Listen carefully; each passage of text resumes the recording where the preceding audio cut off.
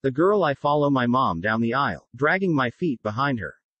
She beckons at me to hold a dress that she's picked, and I sigh, holding my arm out. I walk down the aisle and don't even have to say excuse me. Everyone is distancing themselves from each other, and faces are bent into perpetual scowls, as if they have a score to settle with the pandemic. I stifle a laugh, wondering if the pandemic could be thought of as a tangible thing. A few scowling faces look at me questioningly, wondering why I'm laughing in a time of peril. Ignoring them, I drag my feet across the aisles, trying to catch up to my mom, who is excitedly shuffling through the clothes. I look around while I walk, hopefully trying to spot a kid my age. I'm desperate enough to strike up a chat, even though it would be with a stranger. I've become way too desperate these days with no social interaction. Nobody even comes outside to even hang out these days, and I'm left to ride my bike in circles around the abandoned cul-de-sac. But to no avail, I only see scowling and grim faces. My mom stops walking to see how a dress looks on her, and I stand in the long aisle of clothing, admiring how the sea of apparel never ends. It's a kaleidoscope of color, along with different sizes and shapes of dresses. It's almost calming and peaceful, and I'm lost, trance-like. After a while, I decide to abandon my mom and head to the men's department and browse through the clothing there, absent-mindedly browsing through t-shirts. A rustling to my left startles me. There's nobody there. But then a small head pokes out from between the sleeves of a polo. It's a little girl, probably 10 years old. She enters the aisle and looks directly at me for a few seconds. Instead of staring back, I act like I'm interested in the shirts. Satisfied, she then turns away from me and runs her hands through the dangling sleeves on the shirts, humming to herself a song I don't know, walking down the aisle. What catches my eye about her is how she's dressed. A weave of twigs and leaves makes up her shirt, and flowers braid her hair. Her glowing olive skin complements her sparkling green eyes, almost everything about her screams green.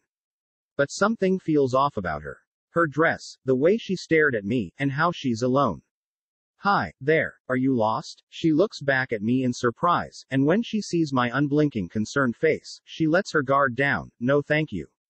I'm just playing. And then she scurries away, disappearing among the abyss of clothing. I head back to my mom, bewildered by the young girl. Was she telling the truth? As we head out of the store, an eternity later, a flash of emerald scurries across us in a blur. I don't even register it at first, but as soon as I do, I throw my arm in front of my mom. Did you not see that girl? Who? What? Where? When? She questions, sprouting questions like a journalist. You know, that girl that just ran a foot in front of you? Her perplexed face is enough to tell me that she did not see the girl.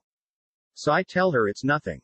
The girl nags the corner of my mind throughout the day, her innocent star-like eyes, and glowing aura. Something is amiss about her, and I can't place my finger on it. Later in the week, my brother's soccer practice serves as a getaway from the island of boredom, home. I find the time to take a walk in the sprawling park during the practice while my parents watch my brother play, enjoying nature.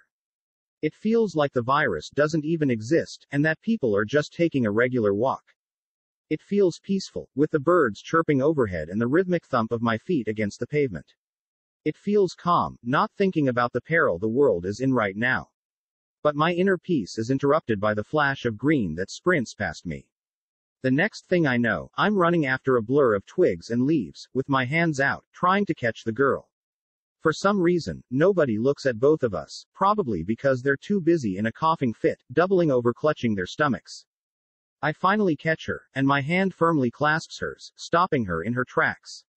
She looks back at me in surprise. I stare into her eyes, and I can't help noticing how mature her face looks, unlike how innocent it looked in the store. Who are you? Like, really? I say, pretty sure that she isn't a little girl here with her parents. I don't believe her tale. She holds my hand and leads me over to a picnic table. I look away, to see if somebody like her is nearby, and she turns to run. But my hand reaches out and snags her at the last minute. You're not going anywhere till you tell me who you are. A greenish tint rises to her cheeks, and her face, for some reason, is twisted in amazement. An odd combination of amusement, horror, amazement, and curiosity. She tugs at my hand vigorously, but my hand doesn't budge, firm as a rock. She takes a deep Cô gái, tôi đi theo mẹ xuống lối đi, lê chân theo sau mẹ. Cô ấy ra hiệu cho tôi giữ một chiếc váy mà cô ấy đã chọn, và tôi thở dài, đưa tay ra, tôi đi bộ xuống lối đi và thậm chí không cần phải nói xin lỗi, mọi người đang rời xa nhau, và khuôn mặt cau có thường trực, như thể họ có một điểm số để giải quyết với đại dịch. Tôi cố nén cười, tự hỏi liệu đại dịch có thể được coi là một điều hữu hình hay không. Một vài gương mặt cau có nhìn tôi đầy thắc mắc, tự hỏi tại sao tôi lại cười trong lúc nguy khốn, mặc kệ họ, tôi lê chân băng qua lối đi, cố bắt kịp mẹ tôi, người đang súng xính quần áo một cách hào hứng, tôi nhìn xung quanh khi tôi đi bộ, hy vọng cố gắng phát hiện ra một đứa trẻ cùng tuổi với tôi. Tôi đủ tuyệt vọng để bắt đầu một cuộc trò chuyện, mặc dù đó là với một người lạ. Tôi đã trở nên quá tuyệt vọng vào những ngày này khi không có giao tiếp xã hội. Thậm chí không có ai ra ngoài để đi chơi vào những ngày này, và tôi còn lại để đạp xe quanh cái cống bị bỏ hoang, nhưng vô ích, tôi chỉ thấy những khuôn mặt cau có và dữ tợn, mẹ tôi dừng bước để xem chiếc váy mặc trên người như thế nào, còn tôi thì đứng trên lối đi dài đầy quần áo, chiêm ngưỡng biển quần áo không bao giờ kết thúc. Đó là một chiếc kính vạn hoa đủ màu, cùng với các kích cỡ và hình dạng khác nhau của những chiếc váy. Nó gần như êm dịu và yên bình, còn tôi thì lạc lõng, giống như xuất thần, sau một lúc, tôi quyết định từ bỏ mẹ và đi đến bộ phận nam giới và xem qua quần áo ở đó, lờ đãng xem qua áo phông, một tiếng sột soạt bên trái khiến tôi giật mình. Không có ai ở đó, nhưng rồi một cái đầu nhỏ ló ra từ giữa tay áo của một chiếc áo polo. Đó là một cô bé, chắc khoảng 10 tuổi. Cô ấy bước vào lối đi và nhìn thẳng vào tôi trong vài giây. Thay vì nhìn chầm chầm lại, tôi hành động như thể tôi quan tâm đến những chiếc áo sơ mi. Hai lòng, sau đó cô ấy quay lưng lại với tôi và luồn tay qua ống tay áo lủng lẳng trên chiếc áo sơ mi, ngâm nga một bài hát mà tôi không biết, đi xuống lối đi, điều thu hút sự chú ý của tôi về cô ấy là cách cô ấy ăn mặc.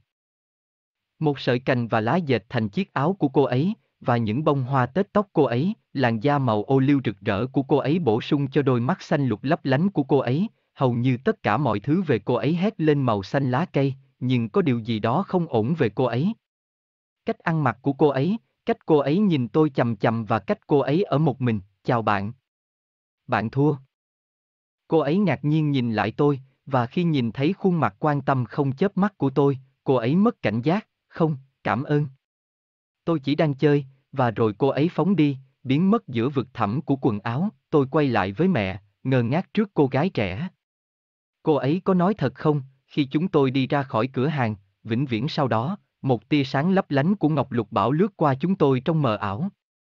Tôi thậm chí còn không đăng ký nó lần đầu tiên, nhưng ngay sau khi tôi làm, tôi ném cánh tay của mình trước mặt mẹ tôi, bạn không nhìn thấy cô gái đó sao, ai cái gì ở đâu khi nào, cô ấy thắc mắc, những câu hỏi nảy mầm như một nhà báo, anh biết không, cô gái vừa chạy một chân tới trước mặt anh, khuôn mặt bối rối của cô ấy đủ để nói với tôi rằng cô ấy đã không nhìn thấy cô gái.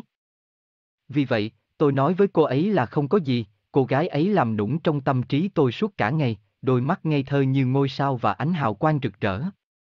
Có điều gì đó không ổn ở cô ấy, và tôi không thể đặt ngón tay vào nó. Cuối tuần, buổi tập bóng đá của anh trai tôi coi như là một nơi nghỉ ngơi thoát khỏi hòn đảo buồn chán. Trở về nhà, tôi tìm thấy thời gian để đi dạo trong công viên trải dài trong quá trình luyện tập trong khi bố mẹ tôi xem anh trai tôi chơi đùa. Tận hưởng thiên nhiên, có cảm giác như virus thậm chí không tồn tại và mọi người chỉ đang đi dạo bình thường. Cảm giác thật yên bình, với tiếng chim hót trên đầu và tiếng đập nhịp nhàng của bàn chân tôi trên mặt đường. Nó cảm thấy bình tĩnh, không nghĩ về nguy cơ mà thế giới đang ở hiện tại, nhưng sự bình yên trong nội tâm của tôi bị gián đoạn bởi tia sáng xanh chạy vụt qua tôi. Điều tiếp theo tôi biết, tôi đang chạy theo một đám lá cây mờ ảo, với đôi tay của tôi, cố gắng bắt lấy cô gái, vì lý do nào đó, không ai nhìn cả hai chúng tôi, có lẽ vì họ quá bận trong một cơn ho, gấp đôi ông bụng, cuối cùng tôi cũng bắt được cô ấy, và tay tôi nắm chặt lấy tay cô ấy, ngăn cô ấy lại. Cô ấy ngạc nhiên nhìn lại tôi, tôi nhìn chầm chầm vào mắt cô ấy. Và tôi không thể không nhận thấy khuôn mặt của cô ấy trông trưởng thành như thế nào, khác với vẻ ngây thơ trong cửa hàng, cô là ai? Thích, thật sao? Tôi nói, khá chắc chắn rằng cô ấy không phải là một cô bé ở đây với cha mẹ. Tôi không tin câu chuyện của cô ấy, cô ấy nắm tay tôi và dẫn tôi đến một bàn ăn ngoài trời, tôi nhìn sang chỗ khác, để xem có ai giống cô ấy ở gần không. Và cô ấy quay đầu bỏ chạy, nhưng bàn tay tôi đã vươn ra và nắm lấy cô ấy vào phút cuối, bạn sẽ không đi đâu cả cho đến khi bạn nói cho tôi biết bạn là ai, một màu xanh lục xẹt lên má cô ấy, và khuôn mặt của cô ấy, vì lý do nào đó, đang nhếch lên vì kinh ngạc. Một sự kết hợp kỳ lạ giữa giải trí, kinh dị, kinh ngạc và tò mò, cô ấy giật mạnh tay tôi, nhưng tay tôi không hề nhúc nhích. Cứng rắn như một tảng đá, cô ấy hít một hơi thật sâu.